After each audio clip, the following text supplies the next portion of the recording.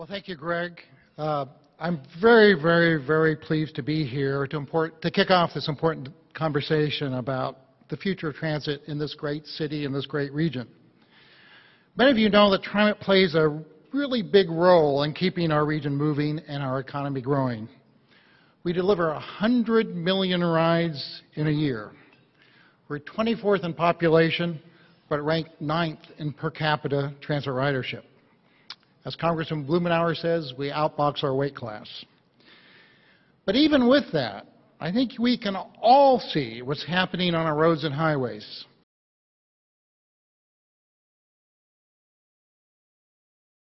The recession hid our mobility problems. But now they're back with a vengeance. We're also seeing dramatic growth in demographic shifts and even more dramatic technological changes. So I really appreciate the City Club Forum as a great place to see how we harness these trends going forward. But let me pause here for a moment and touch on what a difference three and a half years makes. The last time I was here was February 2012, and I laid out a relatively bleak picture for TriMet.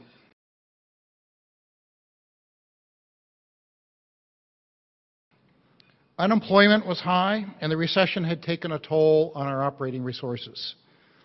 But the greatest threat facing TriMet was whether we were going to be controlled by our legacy healthcare costs.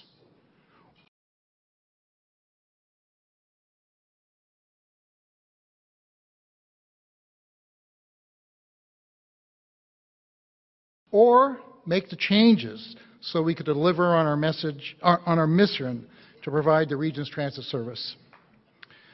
Fast forward three years, and the picture is very different. TriMet today is a much stronger and much better agency than it was the last time I was here.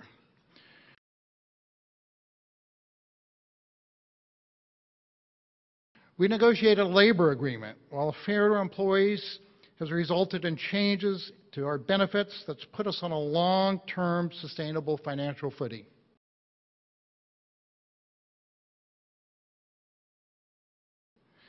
We adopted a long-range strategic financial plan that guides us as we make real progress on our legacy pension and healthcare responsibilities while expanding service.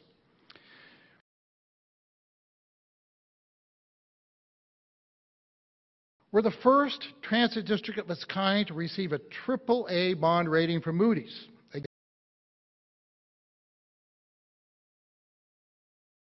Again, another first. We've added back all the service hours we cut from the recession.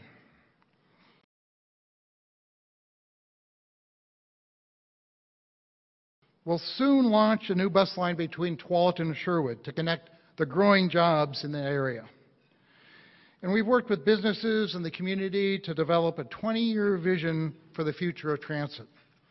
We call these our service enhancement plans, which map out improvements in every neighborhood of the region.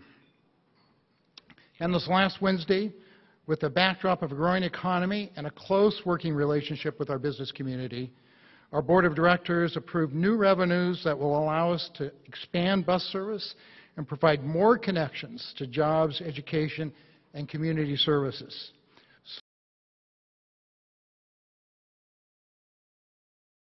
So yes, we are growing again. But I want to shift here to pause for a moment and point out a significant shift in our region. While we have a long history of hearing from businesses with so-called white-collar jobs, those 8 to 5 jobs that are typically located near good transit service, we've long, and we've all long seen real estate brokers advertise nearby transit service to entice buyers. But here's what's changing. Now we're hearing from manufacturers who've located their businesses based on available land. But now realize they need transit service to get their employees to their jobs.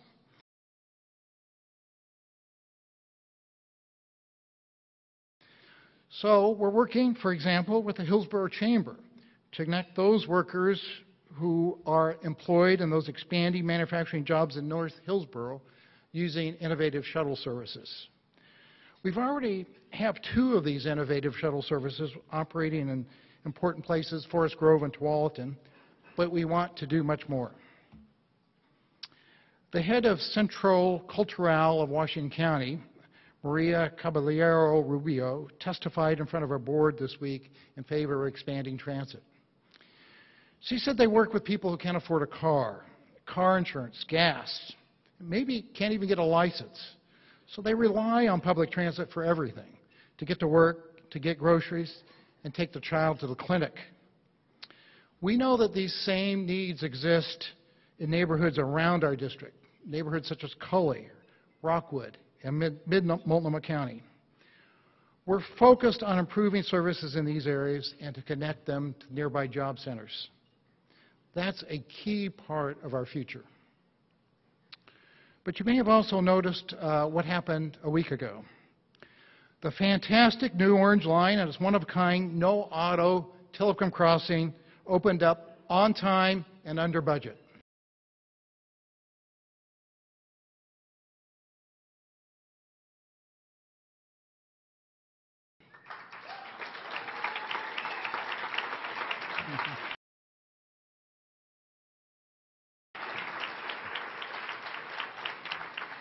We saw 40,000 people ride the Orange Line on opening day, and a truncated service day at that.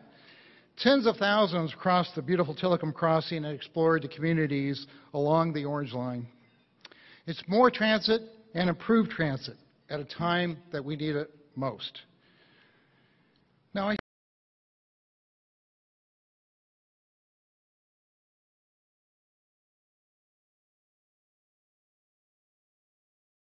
say all of this not to crow, although maybe just a little, but to make the point that three years ago, the challenges facing transit looked very daunting.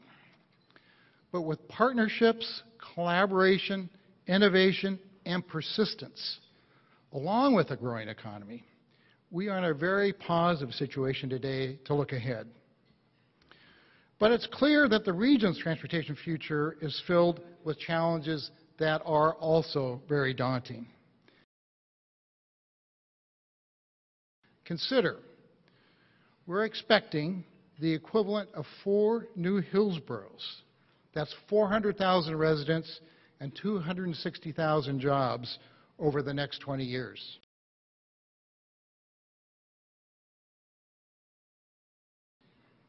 Congestion is growing.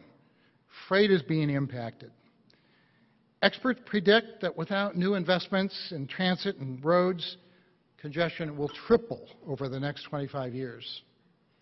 But there's a solution. The 2014 Portland Business Alliance study found that investing in transit and roads would reduce that impact by almost half, while generating nearly $1.1 billion in economic benefits and more than 8,300 jobs per year by 2040. That's a return of $2.40 for every dollar invested. And transit's a very important part of that. Our region has tied its future to transit. Look at the city's many apartment developments or retail uh, and, and commercial developments underway. We're hardwired now to create livable communities along good transit.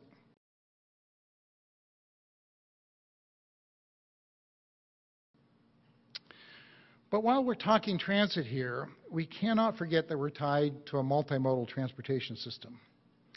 We have a roadmap for the future in this region, but also many, many challenges ahead for both transportation, transit and transportation in general in the region. The federal government is, well, the federal government. They recently passed the 37th temporary extension to the Federal Transportation Act because they can't agree on how to move forward. And despite the yeoman work of folks like Karmen Fore from our governor's office, the state hasn't been able to craft a package that can gain the supermajority needed to pass tax measures, although they came tantalizingly close this year. Our regional transportation plan is woefully underfunded for all modes of travel, whether it's roads, transit, bikes, or pedestrians. Meanwhile, for the first time in 40 years, the region has no major federally funded rail project ready to move forward to construction.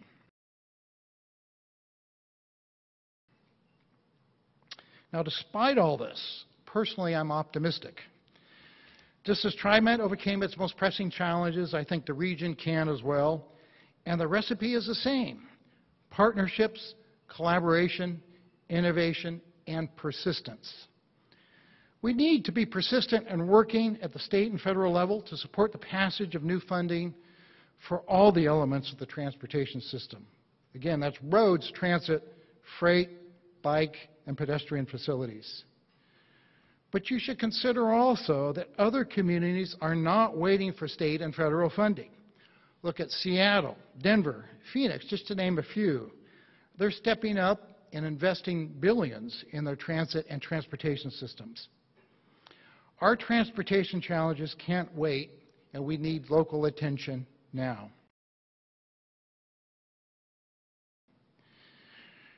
Recognize also that our region has greater needs and, frankly, needs more attention than most all other areas of the state. Uh, we, while we look forward to working with our federal and state partners, we also need to look for our own funding solutions right here in this region. We also need to pursue innovation in the transportation realm, including creating our first bus rapid transit system along the Powell Division corridor in, in East Portland. We need to continue our leadership using information technology to better inform travel choices and make optimal use of the infrastructure we have. It means tying together transit service with new transportation systems such as Lyft, Uber, and bike share. These could play an important role in making that last mile connection for transit riders. I now want to paint a little picture for you. Travel along the Orange Line today and you'll see major investment in business expansion, which translates to more jobs. You'll see new and improved roads, sidewalks, and bike facilities, helping create vibrant neighborhoods. Take that vision and think about how it can transform another transportation corridor.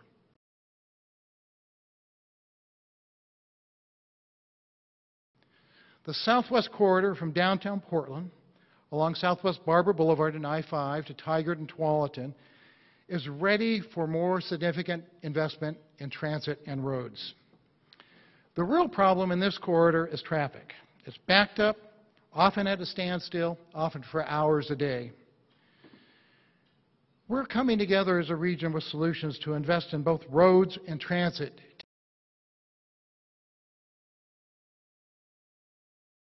to keep this corridor moving. Now, if all of this sounds daunting, it is. But we've done it before, actually, many times before. And we've done it using the same model of, of partnership, collaboration, innovation, and persistence. After all, 40,000 people experienced our sixth max, sixth max line last Saturday because of that model of coming together. We've used that approach for the last 40 years, and it has made us one of the most enviable places to live in the country. Again, the result is 100 million rides a year, ninth in the country in per capita ridership, and it's why U.S. Transportation Secretary Foxx calls us a model for the nation.